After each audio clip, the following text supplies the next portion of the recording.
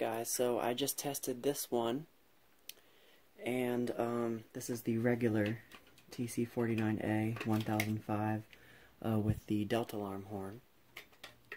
And we are going to test the other one now, the TC49 Model 2 labeled one. I have this one wired up, and this one's got the Edwards horn. So let's go ahead and get our matches and once again not have the camera fall.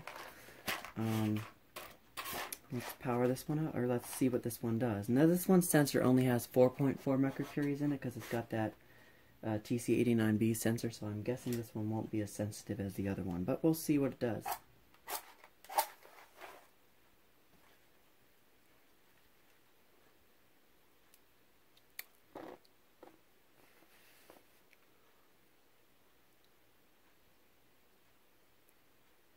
Hmm. Once again, I have to try that one more time.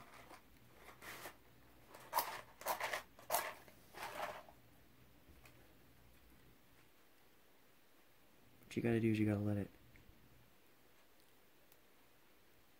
burn enough. There it goes. That match kind of just went out. Try it again. Yeah, and like I said, this one's probably not going to be as sensitive. I do have the sensitivity adjustment turned all the way up.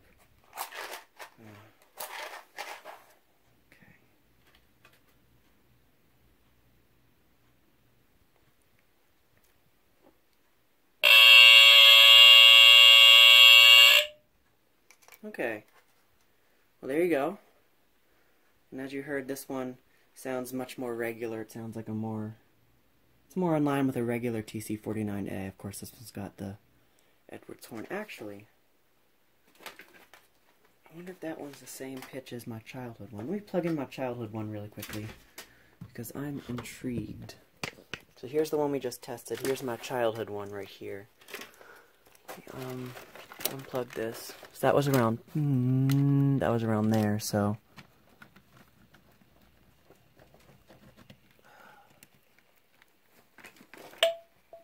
Okay, so my childhood one is like, mm, so my childhood one is a little bit higher pitched, but yeah. So that's pretty cool. Um, and one thing I found out interesting about this one is when I first powered it up, when I first, like, the, I powered it up the very first time a few days ago, and it did chirp like normal, like a normal TC49A does when you powered up, but it sounded for a little bit longer. Now, um, it's not doing that anymore. So like if I unplug it and plug it back in, watches it's probably to go off now. See? Nothing. Which is strange. Let me do it again. See?